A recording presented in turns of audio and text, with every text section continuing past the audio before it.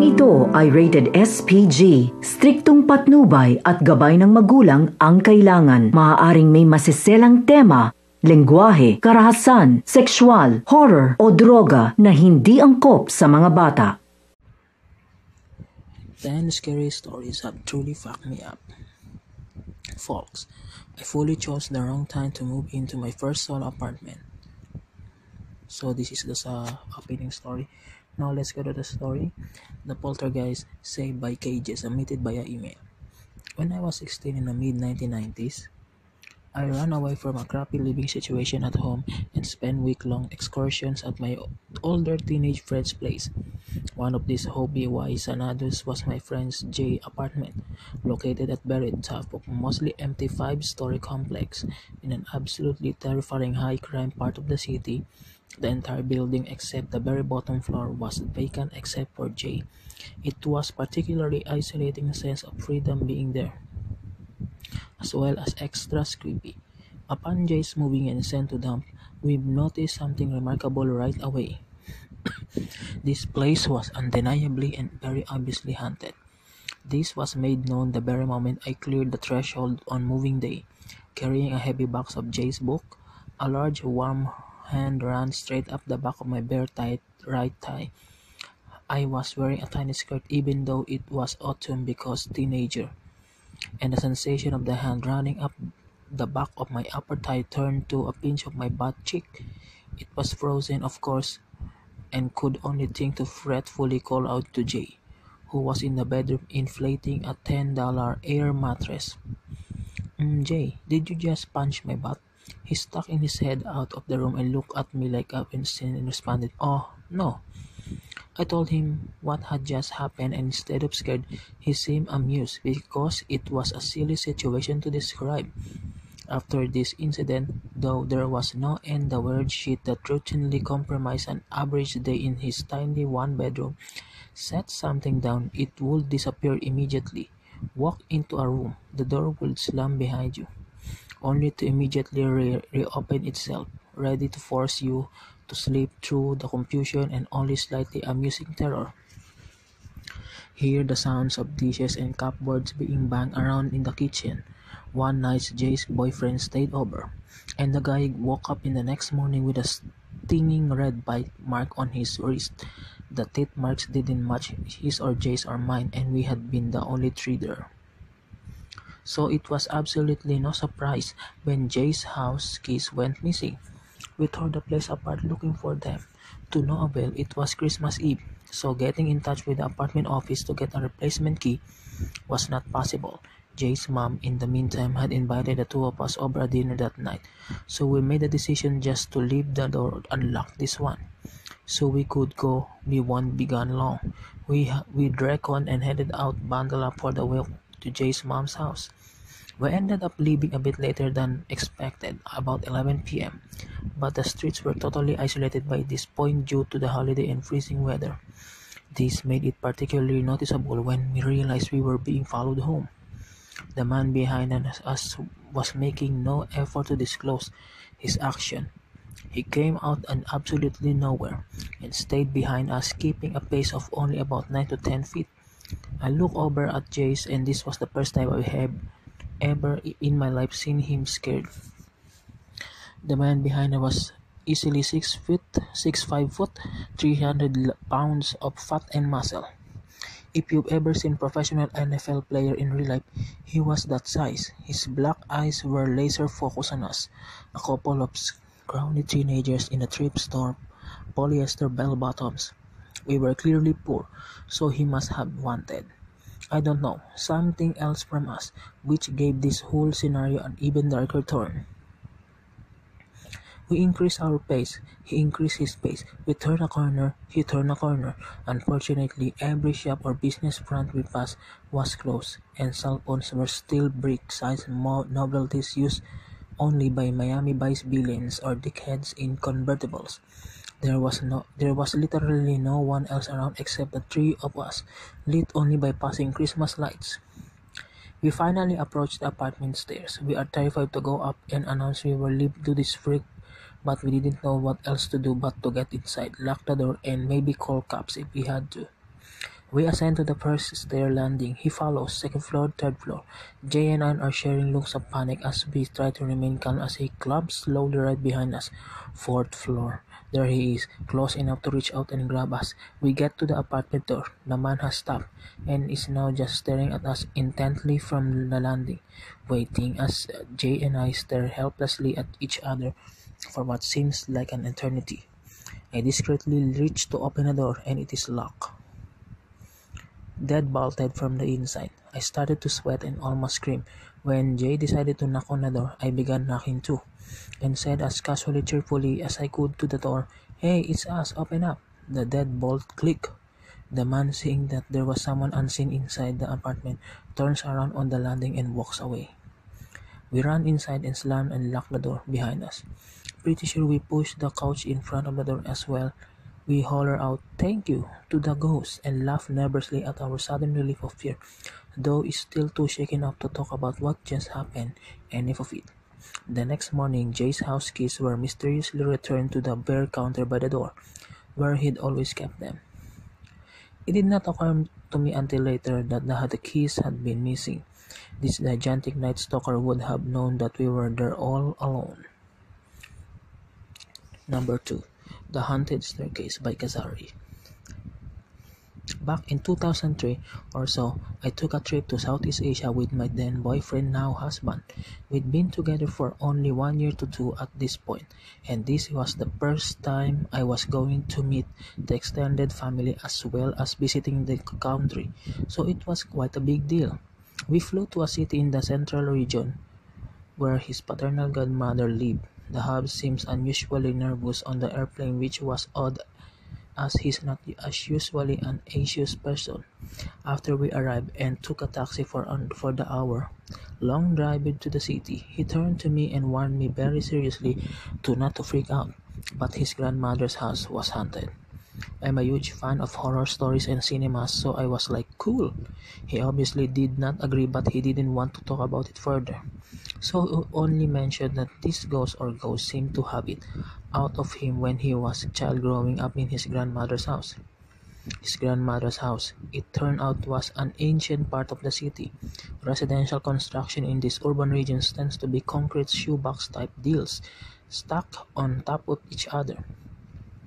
Her house is located right next to the river which floods regularly every year during the monsoon season, so her house was oppressively dark, with cracked concrete floors and discolored flood, flood marks high on every wall of the first floor. It was creepy house even for a non-believer like me. There was a staircase in the back of the house that split off in opposite directions, one went upstairs to the spare bedroom that overlooked the roof and other to a room housing a very large Buddhist shrine, as Grandma was a very devout woman.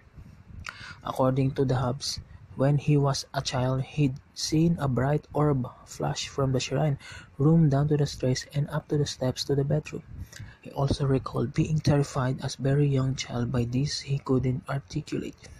His relatives told us stories of him sometimes rushing out of himself screaming in terror at something that had frightened him badly. Other relatives told me of seeing figures walking around the house or hearing footsteps and voices when they were there by themselves.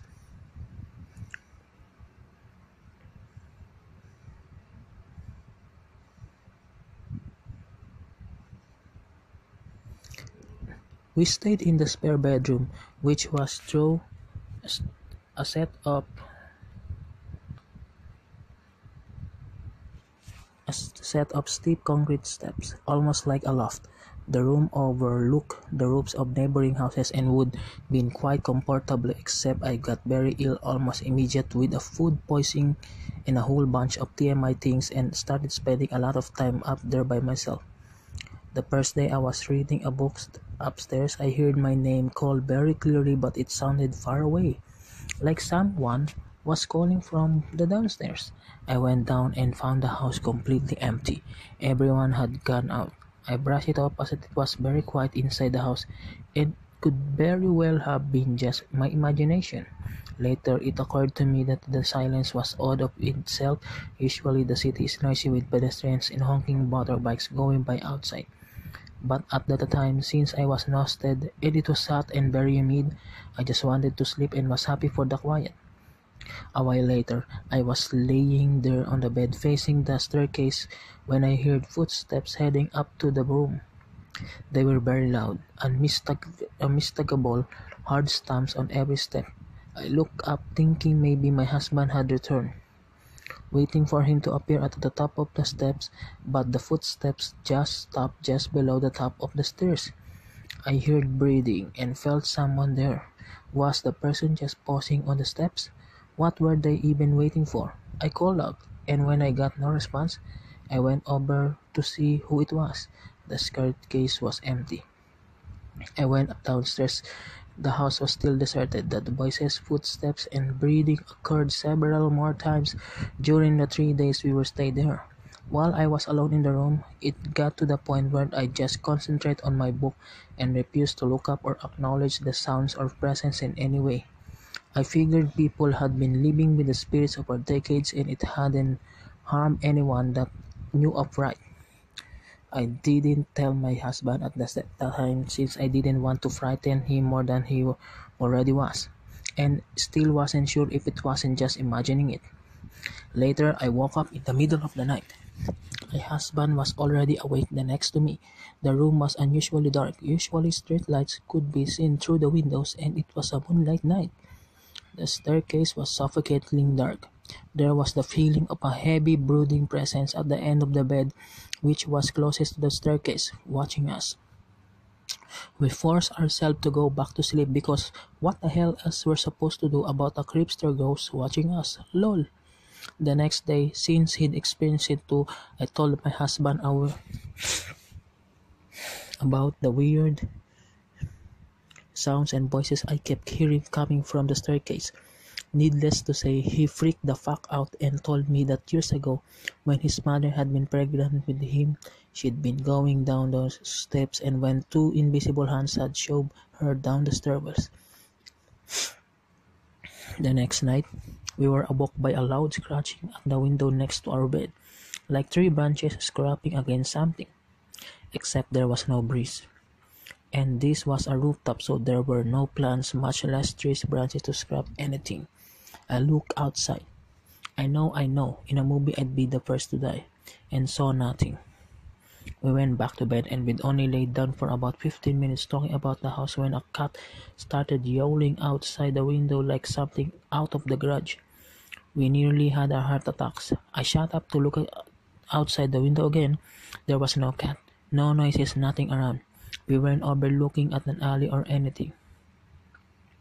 This was the rooftop of a three-story house there was starting to be seen anywhere. I willing to chalk up the last to chalk up the last to an actual live cat hole because the cats are assholes. The next morning, things seems to be happening. My father-in-law was bustling around the living room with a bunch of men measuring things on the floor and pointing at things. My husband got really nervous again and hustled me out of the door to do some delayed sight. Seeing and wouldn't answer me any questions about what they were doing. Much later in the later day, he told me that his father, a feng shui practitioner, had been losing money in some ventures and thought his misfortune originated in the house, so he brought in a protection practitioners to diagnose the problem. They found two bodies under they found two bodies buried under the floor.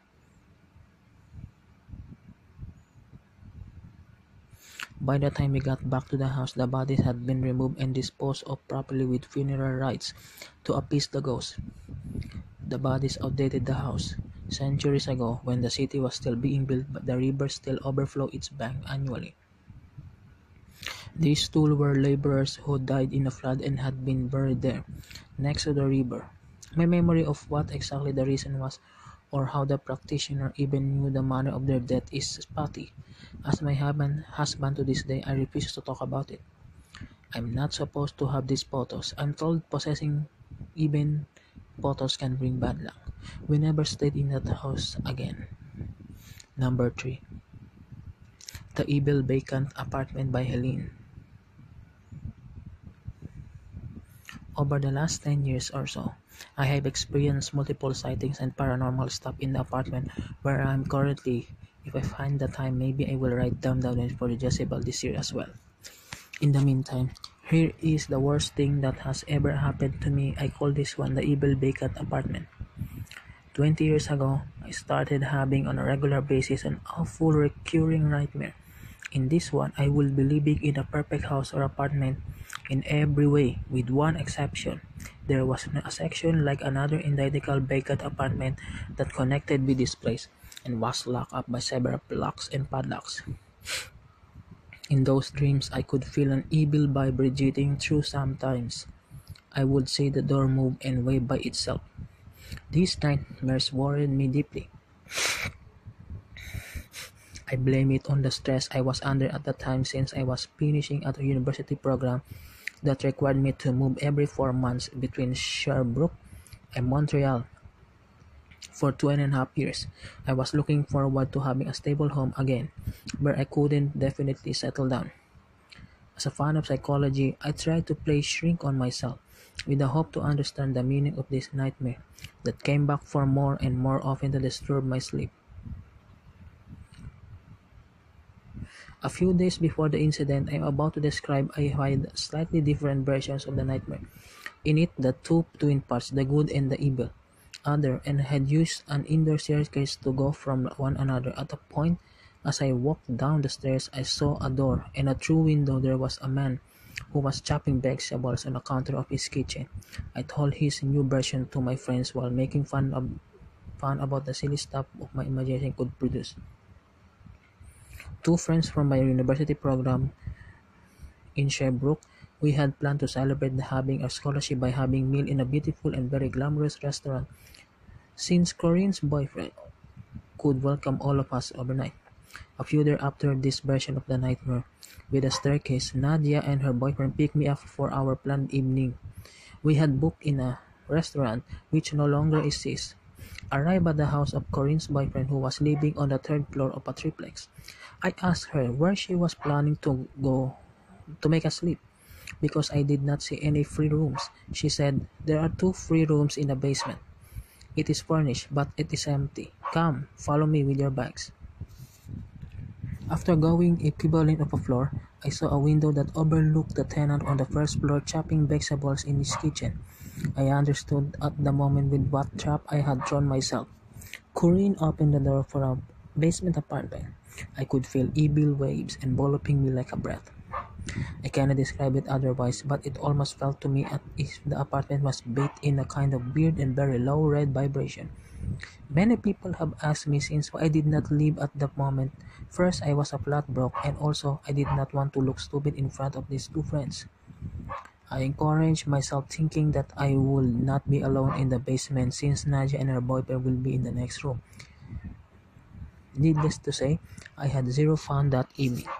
I felt awful and yet the worst was still to come and I knew it. Just the idea of going back to the apartment made me feel nauseous.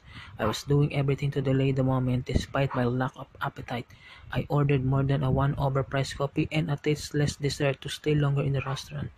Then came the moment we, I mean they all decided to go. I had no more recourse on the way back. I tried to see some positive. The dream was only a coincidence. All basement apartments are equally gloomy. Then, in the middle of the night, a vigorous push on my arm woke me up. At the same time, I heard very close to my ear a weird tearing sound like nylon clothing being torn apart. I read not long ago that some paranormal investigators associate that sound with a demonic entity entering our dimension. Just the thought it makes me shiver. I was laying there in the darkest night, alone in this horrible room, wondering what had attacked me in the dark. The room didn't have any lamp next the bed, and I was unable to leave the bed to reach the light switch on the wall. I do not think my heart ever beat so hard. I was paralyzed. I was thinking to myself, this is not happening. That can't be true. We were these nightmares intended to warn me us all that time. What should I do? Corinne was leaving two floors singer and the doors were probably locked. I was not I was uh, certainly not going to wake up Nadia in her bobbin in the next room. My head was spinning at a thousand miles an hour. I was trying to find an explanation for everything I did. A pretty good job convincing myself that it I felt vigorously on my arm was nothing more than a big series. And since I slept with a bad quality nylon quilt, the noise was probably just a slip of a fabric. As I was delighted to have found an explanation for everything, the same stuff happened again. The thrust on the shoulder and the tearing sound next to my ear. I think I lost consciousness at that point. Well, that's what I believe, because I woke up later at night sight of the first pale light of dawn. As soon as I could not see the end of my nose, I grabbed all my stuff, climbed the stairs two steps at a time. The thirst was actually unlocked and sat down in the Corinne's kitchen at 5.30 a.m. She woke up some three hours later. I told her that I just arrived and have a good night's sleep. On the way back, I told the story of Nadia and her boyfriend who had a very bad night and felt scared to death, even though nothing actually happened to them. We decided never to tell Corinne about it.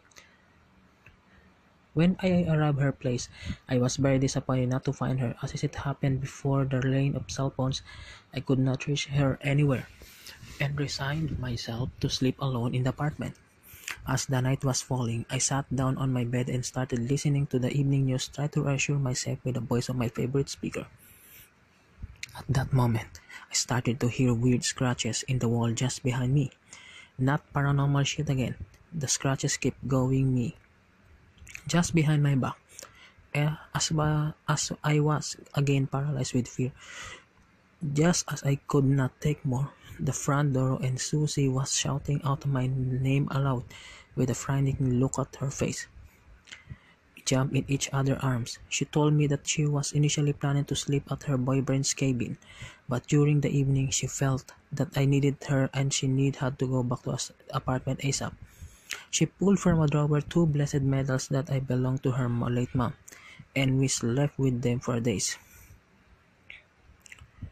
But all of the time I lived at her place, I have never heard anything like that, not before, after even I described above. This was my scary story today. I told it as to my friend as I was mentioning my intention to submit it to Jezebel. Holy cow, I have never thought about that. Now I am again freak again.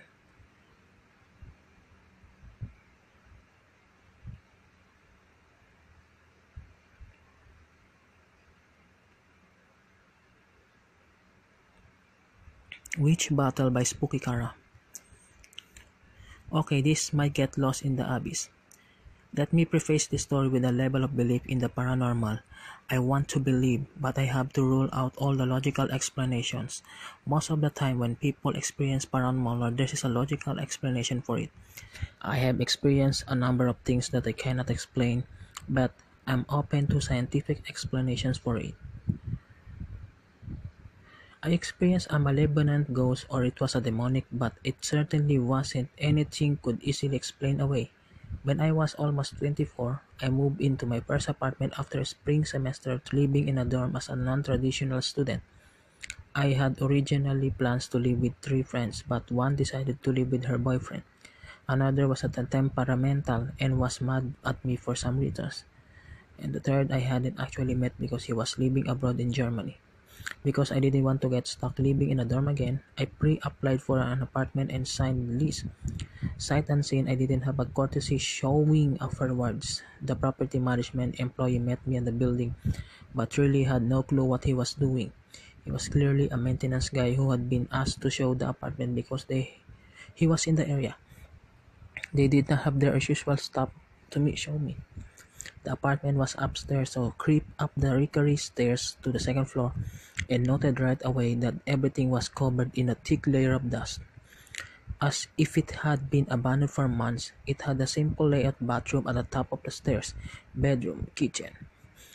This attic was the size of an entire apartment and I was talk about having extra space. The door had a latch that you could put a padlock on.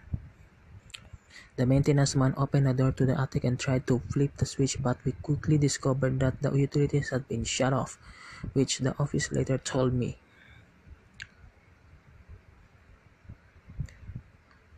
It was a bright and sunny day, so we hadn't needed to turn on the lights until this point, and decided that enough light was filtering into attic to check out.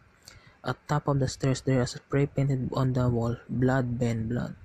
I think it was creepy, but it figured I could just put a poster over it anyway. The maintenance guy responded with how the previous tenant smoked the building, which I could clearly smell that there was no smoking policy in their apartments.